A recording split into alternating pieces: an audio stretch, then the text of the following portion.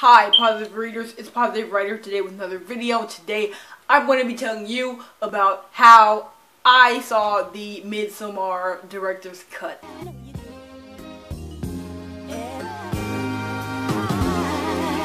So I love the movie Midsommar. It came out in July, I'm pretty sure, and I saw it at the end of the beginning of August, I'm pretty sure.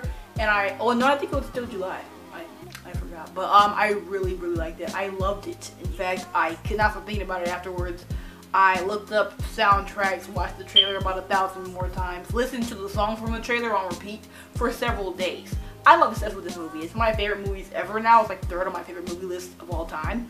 And I just really loved it. It was amazing. Um, it's a film about um, this couple, Danny and Christian, who have kind of on the outs, kind of, they don't really have the best relationship, it's kind of rocky or whatever, but Christian's friends decide to go on a trip to Sweden for this Midsommar festival, and some stuff happens, and Danny comes along. So it just, please watch it. It's so interesting. If you like anything if you liked Hereditary by Ari Aster, which is the amazing director who, of this and of Hereditary, I love him so much. I can't wait for his next movie.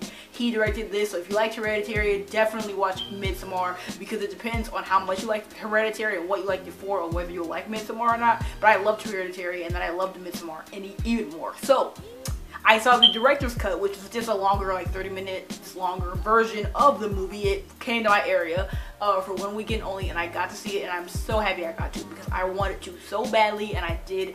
And now I'm just going to be talking to you guys my thoughts, different things that might have changed from the first version, and all that type of stuff.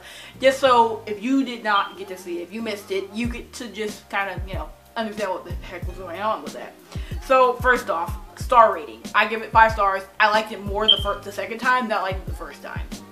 And it wasn't really because of the extra stuff. It's just because I understood more of the movie because I was watching it for the second time and I got to notice more than I was the first time. So definitely liked it the second time more. Um, not saying the first time was not good. It just like you know that extra detail really plays a part. And I'll be talking that about that extra detail uh, a lot more.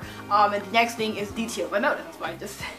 Um, so I will be swirling a little bit. Um, so if you have not seen the movie at all, definitely come back and watch this after you've seen the movie. I'm pretty sure it's out of all theaters now, but it comes out in like October on DVD. If you can find it somewhere else, just watch it as soon as you can. It's really amazing and I loved it so much. But anyway, so I am going to be spoiling these movies. So up until now, if you just get to if you just need that persuasion to go watch it and then come back, please, I advise you, go watch it. So uh, the details I noticed that I didn't notice the first time, the paintings in Danny's apartment in the beginning of the film, um, there's one of a bear and a woman in a white dress and that just completely symbolifies, um, it kind of reminds me of the end uh, with the whole bear Christian thing and then her in the white dress and um, I'm pretty sure there was another one I don't remember what it was, but I do remember that it was a painting that was a lot like something that happened in the cult thing in Midsummer Festival or whatever. And I just, you know, I really like thought that that was a good touch and that obviously unless you've seen it the first time you probably don't recognize it. Um, the bear drawing in the grandmother's house which was the grandmother, one of the grandmothers from the festival had a bear drawing in her house of a bear on fire and I completely was like mm, foreshadowing for like 30, 20 minutes late, left later in the film because that's when it was shown. It was shown like right before the end almost. So we've been new how we got into the characters' heads. I did not notice the first time. I did because it's obvious, but at the same time, you don't really think about it unless you see it for a second time. At least I didn't. And you can you completely experience what the characters are feeling. Danny is the one who we are in the head of the most, and it shows because there are some moments in the um movie where it's just like breathing. It's like you hear the you hear her breathing as if you were breathing kind of in your own, you know, body or whatever and then you hear whatever's going on around her and then it kind of fades out eventually and cuts back to normal movie dialogue or whatever's going on. And I thought that was so cool, honestly. Like, it was even cooler than watching it the first time, as I've said like thousand times. probably will say a thousand times more. It was just so cool to be in the heads of the characters and to be disoriented when they were disoriented. Um, one of my favorite scenes that I'll talk about later on was the maypole dance scene. And it's so cool. I felt exactly like her in that scene. I love that scene so much. It's beautiful. I love the music and the choreography. I just loved it. But I completely felt so I'm like overwhelmed while also like whimsical type of feeling like you're just like in a dream because it was so much going on and the way they shot it I think it was perfect and I definitely feel like we were in their point of view at a certain times. There was one time we were in Christian's point of view later on in the film. It was kind of like a disoriented type of thing, and then when he got knocked out and stuff like that, it's like the they open the eyes as if you were opening your own eyes. It's just super cool. I really think the movie is so interactive and immerses you, and I think that that was amazing. My favorite scene, as I just said, was the maypole dance scene, and I freaking love that scene so much. I loved it in the first film. I just felt so grabbed in, so just a part of it. It was just amazing, and I love the music, and I hate the song that's in that scene. It's not on any soundtracks of the movie. I'm upset, so if you know anybody who has the song or anything, I just wish I had it.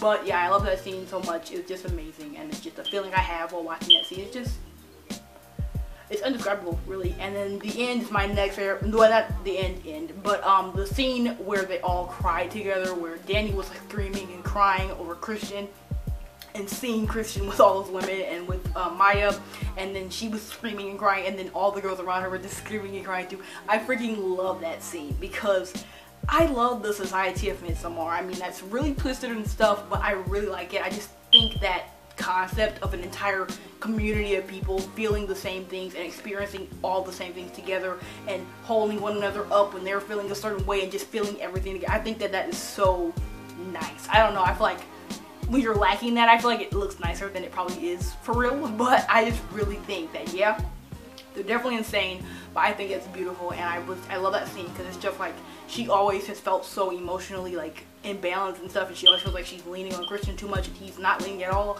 But these all these people now are leaning with her and it was beautiful. It was just beautiful.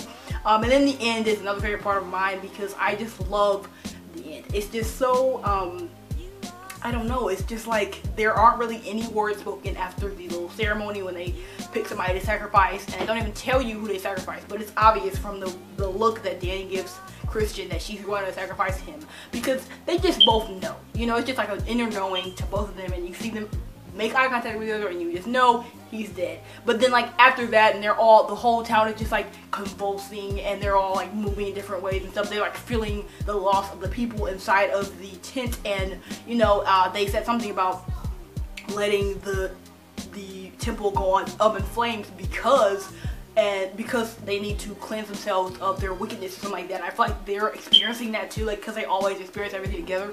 And the whole time Danny's just like coughing and like wheezing because there's freaking smoke and stuff around. And then she's like crying and crying like she's been the whole movie. And then she just realizes that she's completely and utterly free, no baggage whatsoever, and she has completely found a family after losing the one she had and the one that she tried to gain. And then she's just smiling, and it's just the most beautiful thing I've ever seen. It. It was it's just cinematic masterpiece that movie. I swear to god i love it. Some of the shots are just beautiful.